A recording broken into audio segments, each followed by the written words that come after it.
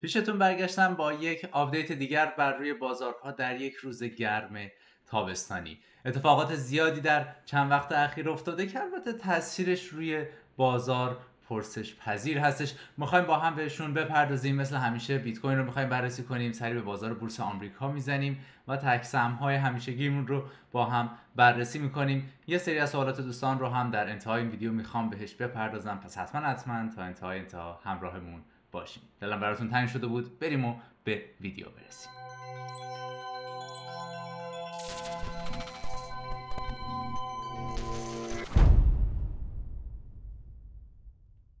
دوستان یک کمی روال کارمون رو می‌خوایم تغییر بدیم و یک کمی از این بار از تکنیکال ها شروع بکنیم. یک فکرم دو سه ماهی هستش که با هم صحبت نکردیم اما خیلی جالبه که در این دو سه ماه خیلی اتفاق خاصی نیفتاده حداقل از لحاظ قیمتی. بله بالا و پایین های زیادی داشتیم اما تقریبا از آخرین باری که با هم صحبت کردیم به این ور بازار چی شده؟ بازار تو یک range نسبتا کوچیک باقی مونده. چیزی از حول و حوش 55000 تا تا 70000 72000 دلار.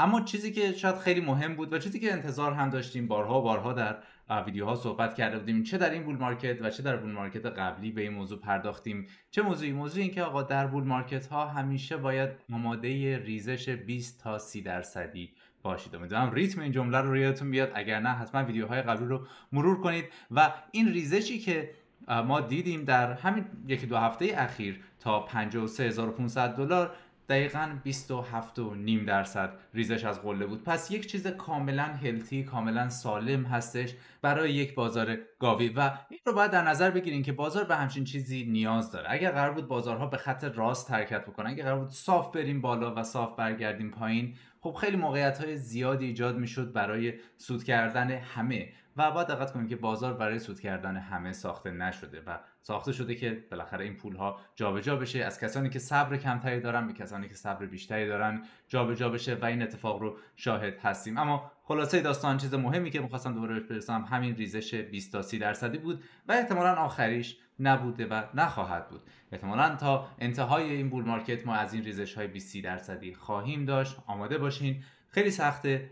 استفاده کردن ازش. خیلی سخته که بخواین دقیقا توی این یک روزی که در پنجم جولای امسال اتفاق افتاد بیاین و دقیقا توی کف کف بخواین خرید بکنین. سخت نیست غیر ممکنه. چی کار پس باید بکنید؟ همونطور که قبلا گفتیم شما نگاه می‌کنید. یه راه خیلی سادهش اگر حوصله چارت نگاه کردن ندارین اینه که dollar cost averaging کنید. هر روز یه مقدار ثابتی بخرین. اگر تو 4 5 سال گذشته که داریم راجع به موضوع صحبت می‌کنیم این کار رو کرده بودی بوده باشین. الان مقدار خیلی خیلی زیادی توی سود هستید اما اگر نکردین عیب نداره هیچ وقت دیر نیست. ولی خب باید یه ذره horizon تون اون time frame تون رو بزرگتر کنید با آینده دورتری نگاه کنید پس یه راهش اینه راهی یه ذره active ترش چیه؟ راه یه ذره active اینه که در bull market ها دقت کنید. فقط در bull market ها. شما بیاین و نقطه های خرید برای خودتون بذارید. هر موقع که قله جدید ایجاد میشه بیاین و ببینید آقا از اون قله جدید اگه من 10 درصد بیام پایین به چه قیمتی می‌رسم؟ اگه به 15 درصد 20 درصد 25 درصد از قله پایین تر رو نگاه کنم کجاست؟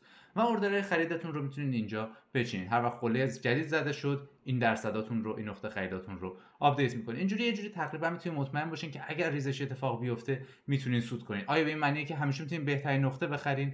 نه. یه بار تو 5 دارین می‌خرین یه بار تو 10 یه بار تو منفی 15 یه بار تو 20 یه دونه هم خرید منفی 25 درصد خواهید داشت. یعنی با 25 درصد تخفیف انگار دارین خرید می‌کنید. پس اینم راه دیگه ای بودش که مد نظرمون هست. در کل اوضاع چطوره؟ در کل آیا نشانه ای از این دیده میشه که روند تموم شده؟ نه. به نظر من تازه شروع داستانه تازه شروع این روند سعودی هستش و هیچ اتفاق بدی به نظر میاد که هنوز نیفتاده. کماکان توی همون رنج هستیم. صرفا یک تصیح کاملا هلتی رو داشتیم که لورش ها از بازار خارج بشن و ادامه راه رو داریم. پیش میریم. اتفاقات زیادی در دنیای اقتصاد کلان هم افتاد در دنیای سیاست هم افتاد. راجع چند تایشون امروز صحبت می‌کنیم طبیعتا. نمی‌خوام خیلی این ویدیو طولانی بشه اما یک دور سریعی روی بقیه بازارها هم قبلش بزنیم بد نیست. اوضاع طلا خیلی خوبه. طلا در همین هفته آل های خودش رو دوباره شکست در نزدیکی 2500 دلار داره می‌رسه. بسیار بسیار عدد بزرگی هستش. اینم راجبش قبلا صحبت کرده بودیم. بالاخره ناامنی دنیا سر جاشون. اتفاقاتی که در آمریکا به طور خاص داره میفته عدم اطمینان ها سر جاشون و اینکه بالاخره طلا تاثیر بلند مدت خودش رو از میزان لیکویدیتی مقدار نقدینگی که وارد کل سیستم اقتصادی دنیا شده می‌گیره و هنوز به نظر می‌رسه که اون ایمپکت و اون تاثیر بزرگی که در دوره کرونا وارد شد هنوز به پایان نرسیده و من انتظار دارم که این روند رشد طلا آروم آروم همین شکلی ادامه پیدا بکنه.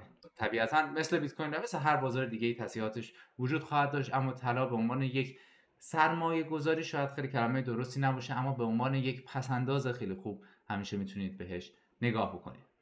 اما بازار بورس آمریکا چه خبر؟ بازار بورس آمریکا راستش یه ذره هنوز حالش زیادی خوبه. توی دو سه روز اخیر چند تا کندل قرمز دیدیم اما کماکان داره اون روند آروم آروم خود آروم آروم خودش رو پیش می‌بره. البته یه کمی شاید درست نباشه که به نمودار S&P 500 بخوایم بگیم شاخص بازار بورس آمریکا شاید S&P 5 اسم بهتری براش باشه. کماکان چند تا شرکت بزرگ 5 تا شرکت بزرگ کماکان دارن. بقیه اقتصاد آمریکا رو با خودشون می‌کشن بالا و این تاثیرش رو روی بازار هم داریم. می‌بینیم ولی خب در کل اگر که صرفا تریدر S&P هستین روند مثبت درش حرفی نیستش روی ساپورت بسته شدیم و فکر می‌کنم که خیلی اتفاقات مهمی خواهد افتاد در طی یکی دو هفته و یکی دو ماه آینده تا, انتخابات به طور کلی تا انتخابات آمریکا و خلاصه باید یه آماده باشیم یه ذره در واقع حواسمون رو بیشتر جمع بکنیم برای اخباری که بیرون میاد. راجبشون صحبت می‌کنیم یه کمی جلوتر بریم.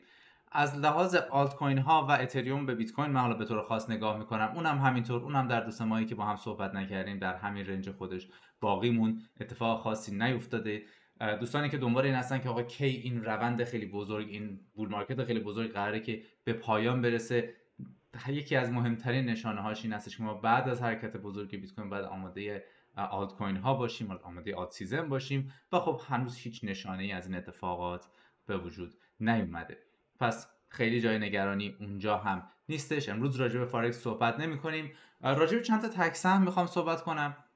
سهم هایی بوده که در ویدیوهای قبلی بهش پرداختیم و الان بعد از چند ماه می‌خوایم برگردیم ببینیم اوضاعشون چطور هستش. یکی از سهمایی که من خیلی دوست داشتم و زیاد راجع صحبت کرده بودیم Hut HUT miner بیت کوین در کانادا و آمریکا هستش. که الان در حولوش 26 دلار 26 و 6 دلار داره معامله میشه. فکر کنم آخرین باری که با هم صحبت کردیم در 12 دلار بود بعد از این ریزش خیلی بزرگی بود که اینجا اتفاق افتاد و ما با صحبت کرده بودیم که یک سری یک شرکت حقوقی اومدن و شروع کردن به شورت کردن این سهام همراه با اینکه شروع کردن به در واقع پرونده سازی که پرونده ها به جای نرسید بسته شد. خیلی مهم نبود یه سری position short بسته شد یه تنفسی به این سهم برگشت اما چیزی که خیلی مهمتر بود اگه دقت کنید با اینکه miner بیت کوین هستش این سهام می‌بینید که در حال افزایش قابل توجهی که در که بیت کوین خیلی داره این کار رو انجام نمیده توی همون range محدود خودش باقی مونده. علتش این هستش که ماینرهای بیت کوین این یه ویدیو جداگانه نیاز داره ولی miner های بیت کوین چی data center ن صرفا یک سرور خیلی بزرگ هستن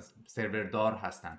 و خب این سروراشون می‌تونن برای استفاده های مختلفی استفاده بکنن. اگر می ارزه که بیت کوین mine بکنن می‌تونن بیت کوین mine بکنن. می ارزه کوین های دیگه ماین بکنن می‌تونن این کار رو انجام بدن. اگر نه این کار رو بکنن می‌تونن که سرورها و جی پی هاشون رو کرایه بدن به شرکت هایی که هوش مصنوعی کار می‌کنن و شرکت هات به طور خاصی سرمایه‌گذاری 150 میلیون دلاری جدیدن گرفت. برای توسعه همین موضوعش و خب این باعث شد که یه جورایی هم از در واقع اون جو هوش مصنوعی بتونه بهره بگیره و هم در کنارش از بیت کوین کماکان یکی از بزرگترین دارندگان بیت کوین هستش هات. بعد از دو تا شرکت ماینینگ بیت کوین ماینینگ دیگه و بعد از ماکرو استراتژی. ولی خب خیلی جالب هستش این سهام. اگر که در کانادا آمریکا هستین می‌تونید که بهش نگاه بکنید. سهام دیگه ای که با هم صحبت می‌کردیم سهام رابین هود بود. اگه خاطرتون باشه من در 20 دلار فروختم رابین هود رو. و همون روزی که فروختم تو ویدیوها کماکان هست می‌تونید بریم ببینید.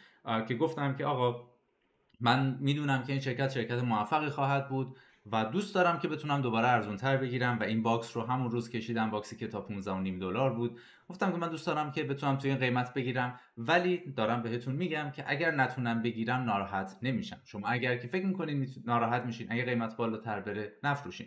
و خب خیلی خوشحالم که این جمله رو گفتم حداقل.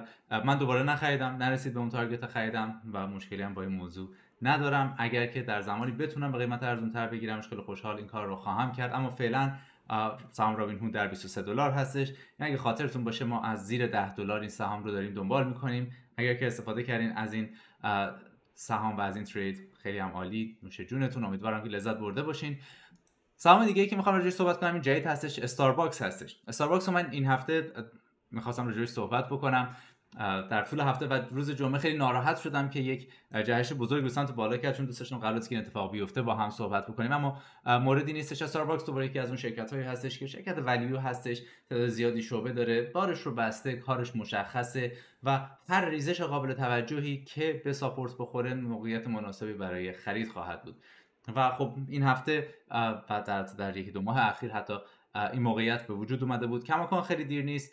کماکان میشه به عنوان سرمایه گذاری بلند مدت بهش نگاه کرد. طبیعتا بالا پایین رو خواهد داشت. مثل هر شرکت دیگه ای ولی خب کمتر پیش میاد که گپ به این بزرگی شما در یک شرکت به این شکل establish شده و پایدار ببینید و خب از این موقعیت ها باید استفاده بکنید. محدود به استارباکس نیست. شرکت های بزرگ دیگه هم همیشه گوشه چشمی میگم بهشون داشته باشین. همین هستش. اگر تو اخبار می‌بینید که دارن راجع به یک شرکت خیلی خوب که شما می‌دونید نه صرفا به خاطر اینکه ازش استفاده می‌کنین به خاطر اینکه رفتین و financial ش رو دیدین شما می‌دونین که آقا این شرکت سودده هستش می‌دونین شرکت در واقع قرض زیادی نداره می‌دونین وضع شرکت از لحاظ مالی خوب هستش. شما اگه می‌بینید در اخبار دارن ازش بد میگن اتفاقات بدی داره واسش میفته معمولا فکر بدی نیستش که یک نگاهی به چارتش هم بندازین. شاید موقعیت خرید مناسبی باشه. مورد موارد مشابه دیگر موارد, مثل بوینگ هستش. دوباره شرکتی که بالاخره داره همینجور هواپیما میرسونه به airline ها کماکان کسی order و درخواست خرید هواپیماش از بوینگ بر نداشته. کلی خبر بد راجبش هست در اینش شکی نیست. ولی خب شرکت شرکت بزرگ پایدار و سوداوری هستش. مثال بوینگ یکم متفاوت با استارباکس بوینگ بالاخره reputation ش تحت تاثیر قرار گرفته. ممکنه سالها طول بکشه و برگرده. ولی خب سرمایه گذاری همین هستش سرمایه گذاری یعنی صبر برای سالهای متمادی. چیز دیگه که خیلی جالب بود با افزایش قیمت طلا طبیعتا قیمت miner های طلا هم افزایش پیدا کرد.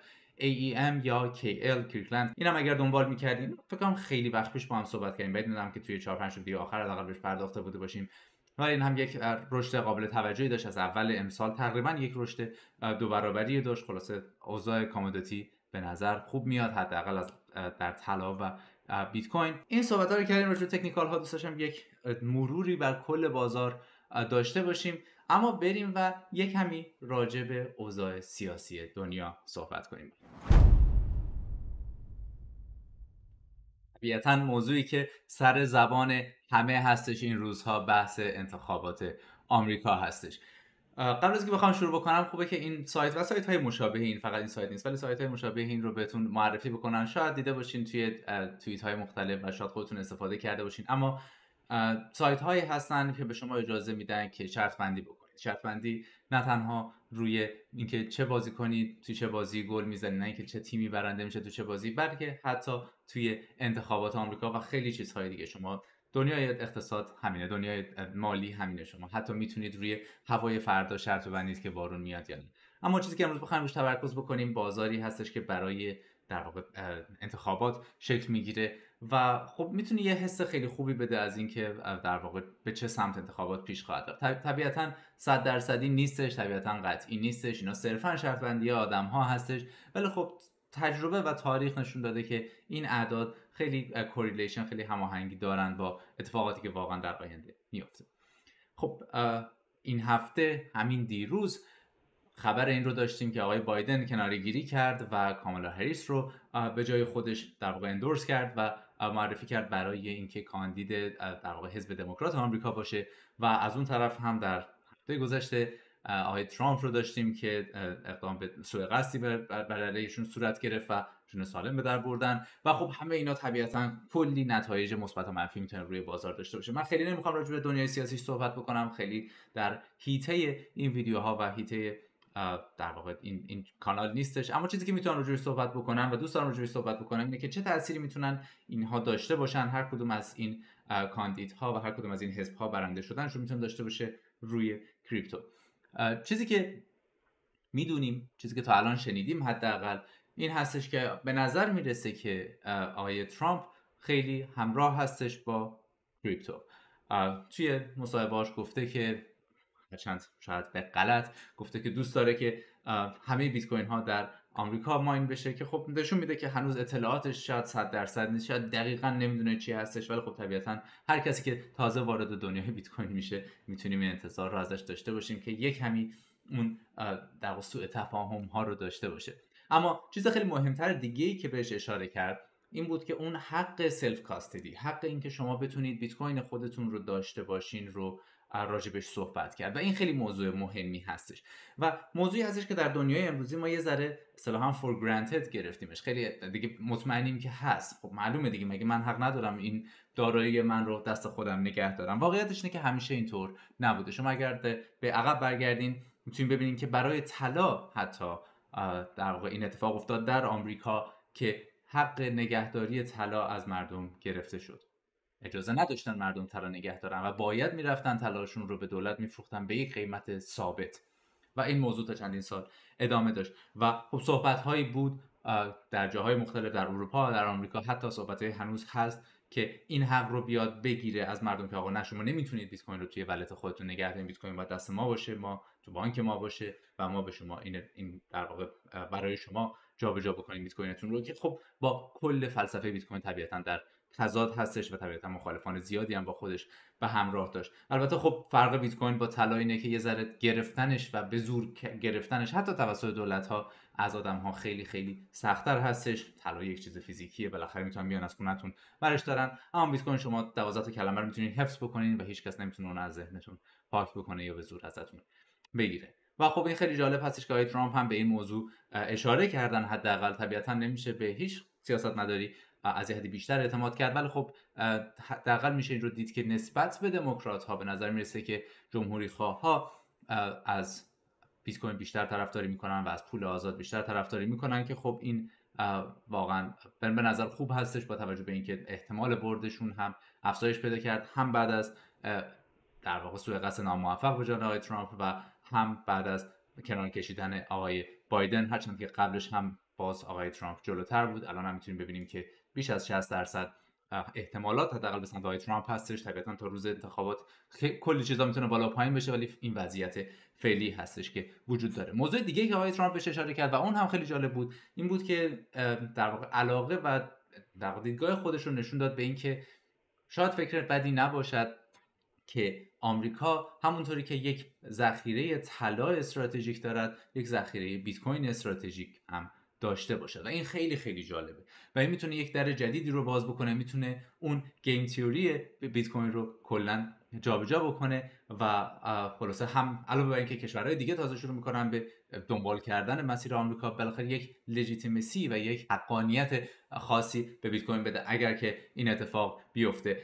روز خیلی مهم روز 27 جولای خواهد بود. روز 27 جولای هفته آینده روزی هستش که Bitcoin Conference برگزار میشه.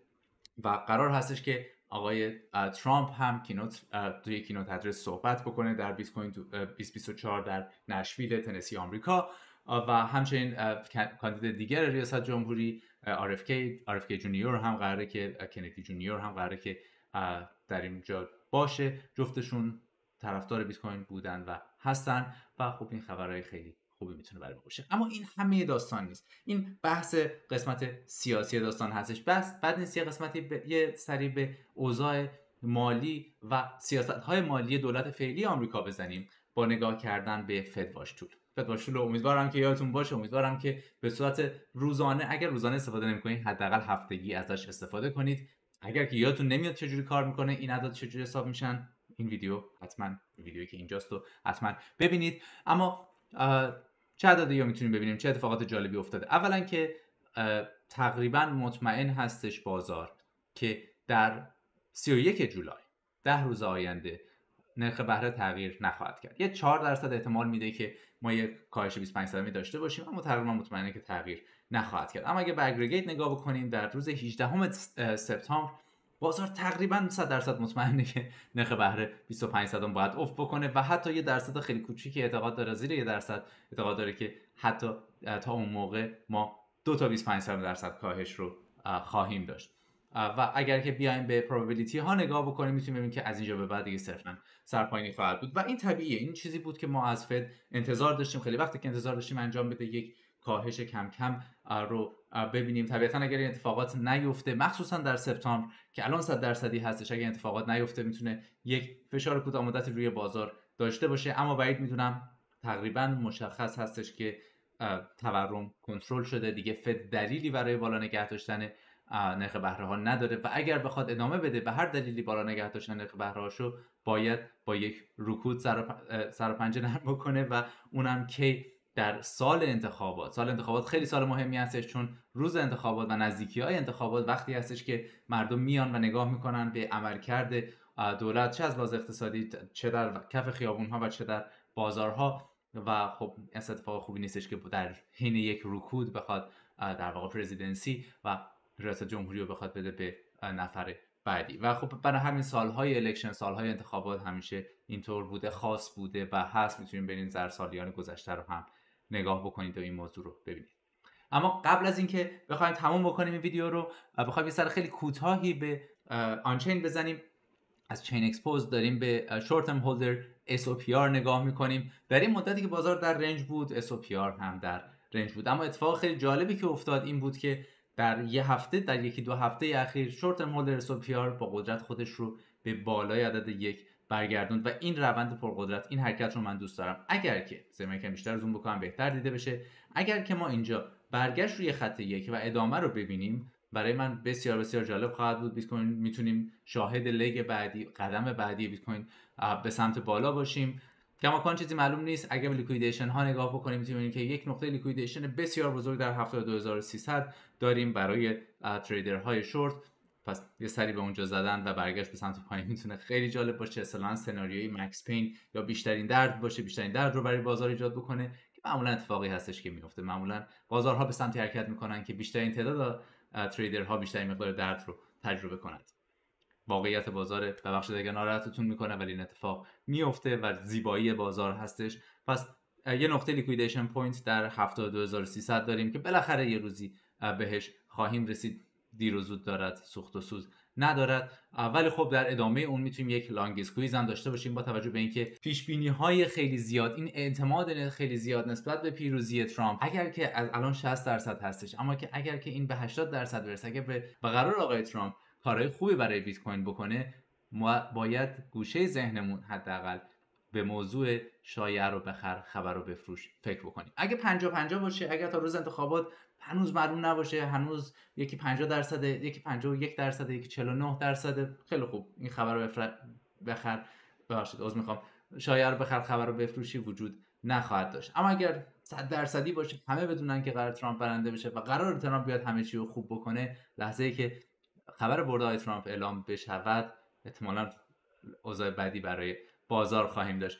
حواستون باشه پس توی این دام نیفتین.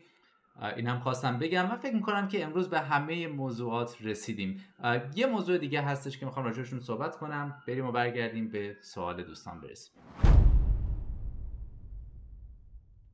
تو این چند وقته با کمال عذرخواهی بهتون میگم که من موفق نشدم به خیلی از سوالات جواب بدم. خیلی از پیام ها خیلی خیلی به هم لطف داشتین که جوی حالم بودین در این چند وقته و من بی نهایت ازتون تشکر می‌کنم و نمی‌دونم چطور بتونم لطفتون رو جبران بکنم. ولی یک سوالی که شاید بیش از هر سوال دیگه دیدم تکرار شده و لازم دیدم که اینجا بهش بپردازم بحث صرافی هستش. خب تو این چند وقته بالاخره با فیلترهای مختلف که اتفاق افتاده و بالاخره مشکلاتی که در جای جای کره زمین به وجود اومده اوضاع نگرانی حداقل بچه های گنج از اینکه آقا ما خب کجا ترید بکنیم بوده و هست. چه دوستانی که در ایران هستن چه دوستانی که در کانادا و یا سایر کشورهای دنیا هستن.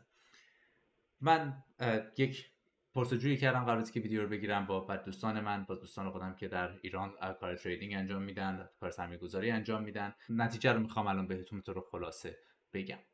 چیزی که من بهش رسیدم اینه که اگر می‌توانید از VPN ثابت استفاده کنید VPN استفاده کنید که IP ثابت داشته باشه. نه لزوما IP یک نقطه ثابت حداقل یک کشور ثابت اگر می‌تونید که از نورد VPN استفاده کنید اگر می‌خواین لینکش توی کپشن هست VPN هستش که من استفاده می‌کنم. و می‌تونید کشورتون رو ست بکنید روی یک کشور مشخص به طور خاص کشور آلمان. کماکان به نظر می‌رسه که بهترین گزینه استفاده از صرافی BingX هستش. صرافی که من هنوز خودم استفاده می‌کنم ازش. اجازه خرید و فروش به شما نمی‌دهد. یعنی که از بانکتون پول بیارین. نمی‌تونید این کار رو بکنید. اما اگر crypto دارید و می‌خواین crypto به هم تبدیل بکنید اگر می‌خواین trade leverage دار بکنید در crypto این صرافی به نظر هنوز بهترین گزینه میاد. صرافی دیگری از طرف دوستان من در ایران به معرفی شد که ظاهرا با ایرانی ها بهتر کار خواهد کرد. جزئیات بیشترش رو در caption براتون می نویسم ولی همینجا میگم که من خودم استفاده نکردم. اطلاعاتم محدود به در واقع اطلاعاتی هستش که دوستانم در ایران به من دادن و دوستان هستن که من تا زیادی بهشون اعتماد دارم. صرافی توبیت هستش. اطلاعاتش رو می‌تونید توی کپشن ببینید. اگر سوالی دارین برای من بفرستین. من می‌تونم براشون ارسال بکنم یا اگر در توانایی خودم باشه بهتون پاسخ خواهم داد. ممنون از اینکه همراه ما بودیم میگم خیلی سوالات زیاد هستش و ازتون خواهش می‌کنم که کمی صبر داشته باشین و سعی می‌کنم که در به همه پیام ها پاسخ بدم و برگشتن خیلی حس خوبیه. متاسفانه نمی‌تونم بهتون قول بدم که هر هفته هفته نامه خواهیم داشت. اما دوباره اون روند ویدیوها شروع شده. می‌تونم بهتون قول بدم که چند وقت بار میام و سری بهتون می‌زنم و خلاصه حالا احوالی با هم می‌کنیم و ببینیم دنیا دست کی هستش. ممنونم از همراهی شما. خیلی خیلی مراقب خودتون باشین. خیلی تنگ شده بود براتون و تا دیداری بعد. خدا نگهدار.